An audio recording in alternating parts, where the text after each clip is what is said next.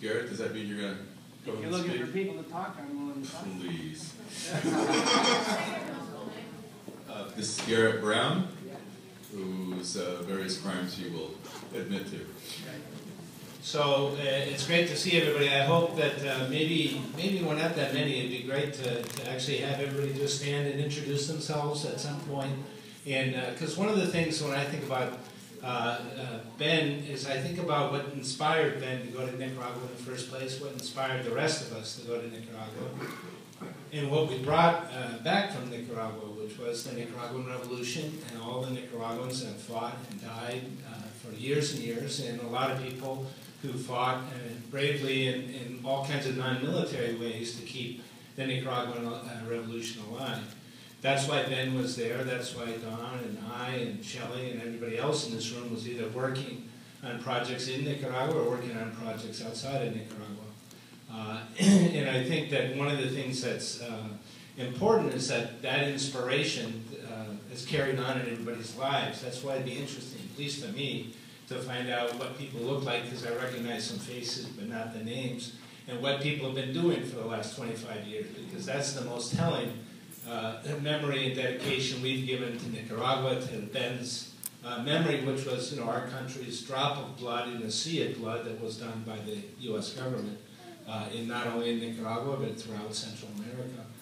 Uh, one of the things I remember about Ben's death, I was in Esteli. Uh, I, was, I lived in Nicaragua from 84 to 88, uh, and so I was in Esteli when he died, was murdered.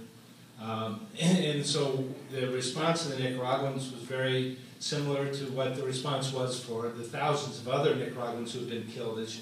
And that uh, year before, six months before, the Contra had killed uh, 10 Telcor workers. These were uh, telephone workers, shot the hell out of them in the back of a pickup truck uh, by San Juan de Limay. And all of them were from Esteli, and so it was a really shocking uh, set of massacres, and one massacre in Esteli. But the response was always, okay, these guys, the Contra, are not going to win.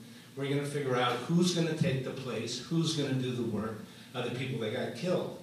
And that's what Nicaraguans did everywhere uh, in, the, in the country during the revolution.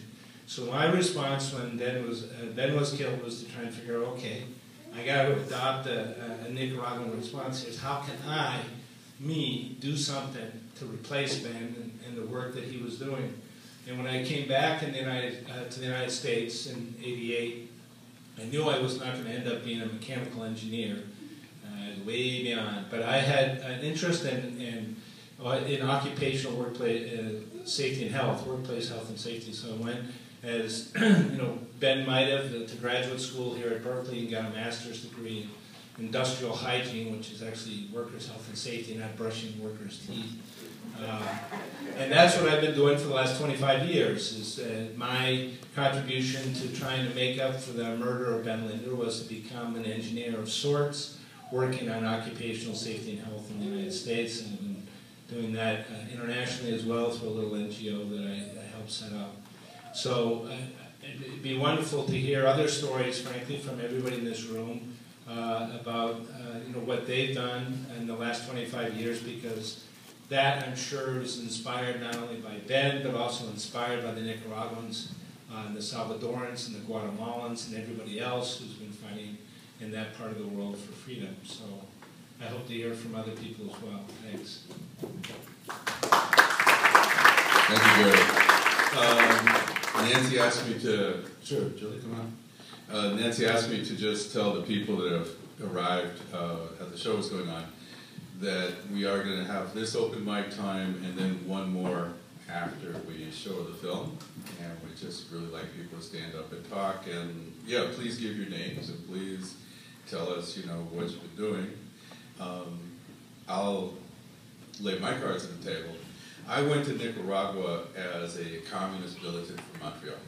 I had been part of the communist youth movement, uh, mostly Trotskyist oriented, and we did things like metro strike of 1970. I'm getting old. And, uh, you know, my first political activity was to go on strike because they raised the metro fees to 50 cents. Not by 50 cents, to 50 cents. And, uh, in Nicaragua, I was, you know, definitely a supporter of the revolution. And the revolution, as Garrett said, you know, there was a revolution and there was the war. The war wasn't always the revolution, though it usually was. And the revolution was also other things. For me, it was training people how to repair machines more than anything else. For me, the revolution was that farmers and workers, rural workers, could learn how to use mixed numbers and make machine parts. And, uh, and that revolution was tougher sometimes than the war. But the war was strong, and the war was something that we should never forget.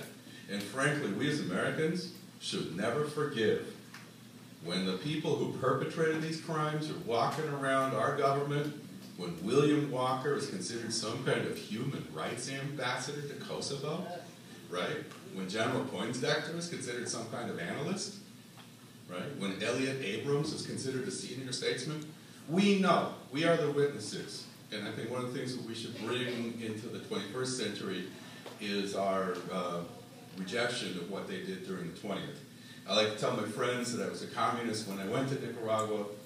I was sort of a former communist when I got back from Nicaragua. And in the 21st century, all things given, I'm an unrepentant former communist at this point.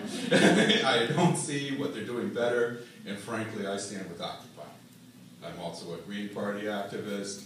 I'm running for the first district, in case anybody wants to vote for the Green Party in the first district What's your name? Don MacLeay. And, uh, and I think we all should be doing something, not for them, not for ourselves, but for the good common sense that we all have, right? Because all the children are all of our children. And we have to think of the future we give to them.